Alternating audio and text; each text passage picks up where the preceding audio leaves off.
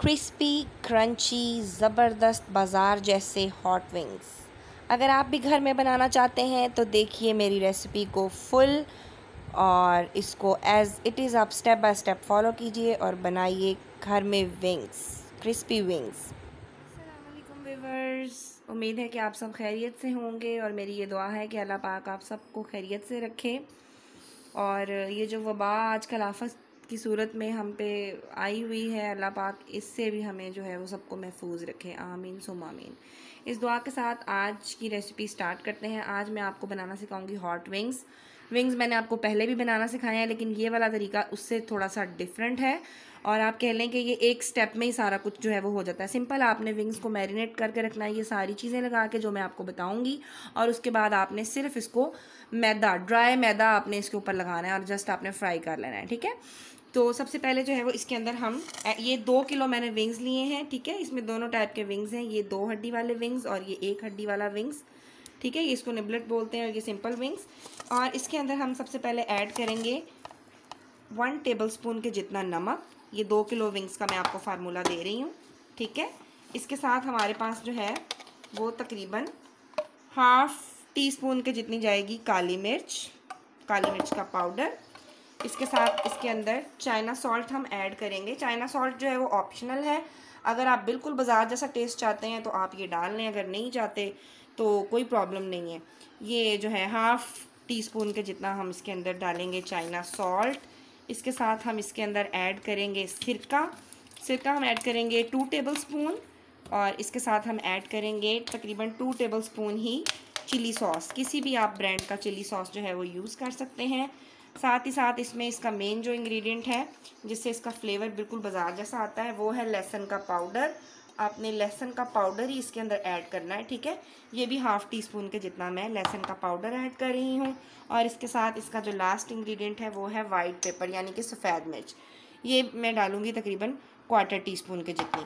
अगर आप जो है वो आपके पास ये वाइट पेपर मौजूद नहीं है तो आप काली मिर्च की क्वांटिटी को डबल कर सकते हैं। और इसके साथ मैं इसके अंदर एक और इंग्रेडिएंट ऐड करूँगी, वो है पेपरिका पाउडर पेपरिका पाउडर बिल्कुल हम इसके अंदर वन फोर्थ टी स्पून के जितना जो है वो ऐड करेंगे।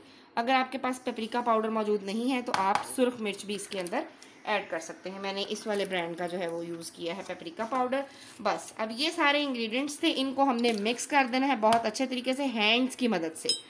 और सॉरी एक इंग्रेडिएंट मैं भूल गई, वो है गोश्त गलाने का पाउडर कचरी पाउडर भी आप इसके अंदर ऐड कर सकते हैं। मैं इसके अंदर जो है वो ये वाला मीट टेंडराइज़र यूज़ करूँगी। ये हम इसके अंदर वन टेबल स्पून के जितना जो है वो ऐड करेंगे। क्योंकि आपको पता है कि विंग्स को हमने कच्चा ही फ्राई करना होता है। इसको हमने बॉयल वगैरह नहीं करना होता। तो ये तकरीबन वन टेबल स्पून के जितना मैंने इसके अंदर ये गोश्त दिलाने का पाउडर ऐड किया और आप इसको मैं हाथों की मदद से बहुत ही अच्छे तरीके से मिक्स करके इसको मैं तकरीबन एक से दो घंटे के लिए फ्रिज में रख दूँगी, ताकि अच्छे तरीके से इसकी मैरिनेशन हो जाए और जायका जो है वो विंग्स के अंदर तक चला जाए। दो से तीन घंटे हो गए हैं, ये विंग्स जो हैं वो मैरिनेट हो चुके हैं अच्छे तरीके से। अब हमने क्या करना है, सिंपल मैदा मैंने लिया है। ये तकरीबन आधा किलो के जितना मैदा है, सिंपल मैदा, खुश्क कोई इसके अंदर मैंने चीज़ नहीं डाली। सिंपल मैदा। और हमें पानी चाहिए होगा। ये भी बिल्कुल नॉर्मल टैप वाटर है। ना ठंडा, ना गर्म। दरमियाना जो आप, जो टूटी में आ रहा होता है। अब हम क्या करेंगे? सिंपल हम यहाँ से विंग्स को उठाएँगे। और हम इस खुश्क मैदे के अंदर जो है वो इसको डाल देंगे। और उसके बाद हम अच्छे तरीके से इसको कोट करेंगे। हाथों की मदद से हमने इसको दबाना है। अच्छे तरीके से दबा दबा के इसके ऊपर हमने मैदे की कोटिंग करनी है। ये देखें इस तरह। सिंपल। इस तरह हम जो है, ये मैं आपको बताती हूँ। ये देखें, ये झाड़ लिया हमने। अब हमने क्या करना है, ये विंग्स उठा के हमने सिंपल पानी के अंदर हमने इन सारे विंग्स को डाल दिया। पानी के अंदर हमने वो विंग्स डाल दिए। जस्ट हमने 10 से 12 सेकंड के लिए उसको पानी के अंदर भिगोना है। उतनी देर में ये विंग्स मैंने सिंपल मैदे में कोट कर लिए हैं। अब ये जो विंग्स हमने मैदे के अंदर रखे थे, इसको हमने निकाल के यहाँ रख दिया और ये जो पानी के अंदर डिप किए हैं, इसको हमने सिंपल उठाना है हल्के हाथ की मदद से और हमने इसको जो है वो मैदे वाले डब्बे में डाल देना है। जी, अब हमने इसको बहुत ही अच्छे तरीके से हाथों की मदद से तकरीबन तीन से चार मिनट तक हमने इसको जो है वो मलना है और इसके ऊपर जो है वो क्रम्स आ जाएँगे। मैदा जो है वो आपने मेक श्योर sure खुले बर्तन में लेना है, जिस तरह ये मैं पाँच पाँच विंग्स इसके अंदर डाल रही हूँ और ये खुला बर्तन है, ठीक है? अच्छे तरीके से आपने दबा दबा के इसके ऊपर जो है वो क्रम्स बनाने हैं। जी वीवर्स ये मुझे तकरीबन दो से तीन मिनट हो गए हैं। ये देखें इसके ऊपर कितने अच्छे से क्रम्स आए हैं। अब हम इनको जो है वो निकाल के, छान के अच्छी तरह इसको ऐसे, हम इसको प्लेट में रख लेंगे। बस यही इसकी टेक्निक है। इसके अंदर और कुछ भी नहीं करना। कोई इसके अंदर जो है हमने एक्स्ट्रा चीज़ नहीं डालनी। ठीक है? ये, अब ये जो हमने पहले मैदे के अंदर डिप करके रखे हुए थे सिंपल इसको हम फिर पानी के अंदर डालेंगे। और पानी के अंदर डालने के बाद हम जो है वो इसको दोबारा से मैदे के अंदर डालेंगे। जी वीवर्स अब ये जो मैदा है, इसको हम थोड़ा सा ये छलनी की मदद से इस तरह करके उठा के इसको हम छान लेंगे, ताकि ये जो इसके अंदर ये क्रम्स से बने हैं, ये निकल जाएँ। और मैदा जो है वो बिल्कुल दोबारा से अपनी पहली हालत में आ जाए। ये इसकी टेक्निक है। इसको भी आप जो है, ये जो हम ऊपर से ये जो, ये देखें, ये जो क्रम से निकले हैं, इसको भी आप जो है वो फ्राई कर सकते हैं। जी। अब ये जो हमने रेस्ट के लिए रखे थे पानी के अंदर, विंग्स हम सिंपल इनको उठाएँगे और इसको अच्छी तरह पानी को निकाल के हम इस मैदे के अंदर डाल देंगे। जी। अब हम वही प्रोसेस करेंगे। बहुत अच्छे तरीके से इसको दो से तीन मिनट जो है वो एक एक विंग को उठा के हमने इसके अंदर इस तरीके से दबा दबा के इसके क्रम्स हम इसके ऊपर बनाएँगे। जी वीवर्स ये मुझे फिर से हो गए हैं दो से तीन मिनट। अब ये देखिए। सिंपल हमने इसका मैदा जो है वो एक्सेस मैदा इसका हमने झाड़ लेना है। ये देखिए कितने अच्छे से इसके ऊपर क्रम्स बने हैं।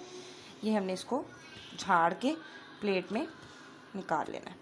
और अब मैंने एक तरफ़ जो है वो ऑयल को गर्म करने रख दिया है।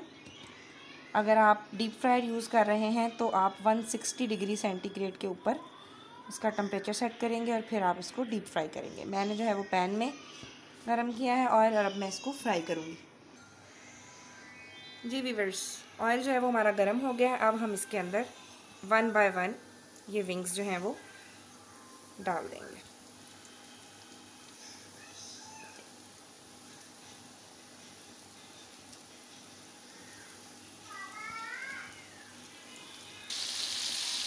जी वीवर्स ये तकरीबन दो मिनट हो गए हैं। एक साइड से ही अच्छे तरीके से इन पे क्रस्ट जो है वो आ गई है और अब हम इसकी साइड चेंज करेंगे। ये देखें कितने ज़बरदस्त विंग्स हमारे रेडी हो रहे हैं और बहुत ही क्रंची सी इसके ऊपर लेयर आई है। और ये देखें, ये सारे विंग्स वन बाय वन मैं टर्न कर दूँगी। ये अब देखें आप इसकी क्रंचीनेस आप चेक करें और इसके ऊपर ये जो क्रस्ट आई है, बिल्कुल बाज़ार जैसे बनेंगे। रेसिपी को पूरा देखिएगा। जी वीवर्स ये तकरीबन चार से पाँच मिनट लगे हैं, बल्कि तीन से चार मिनट आप कह लें, क्योंकि हमने इसके अंदर कचरी पाउडर ऐड किया हुआ था। गोश्त गलाने का पाउडर तो हमें ज़्यादा मुश्किल नहीं होगी इसको गलाने में। ये देखें। कितने ज़बरदस्त क्रंची हमारे जो हैं, वो विंग्स तैयार हो गए हैं। अब हम इसको डिश आउट करेंगे।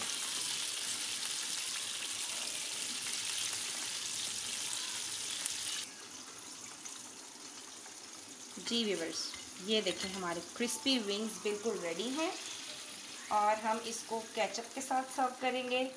इसको आप मायो गार्लिक डिप के साथ भी सर्व कर सकते हैं या फिर रॉयल क्रीमी डिप के साथ।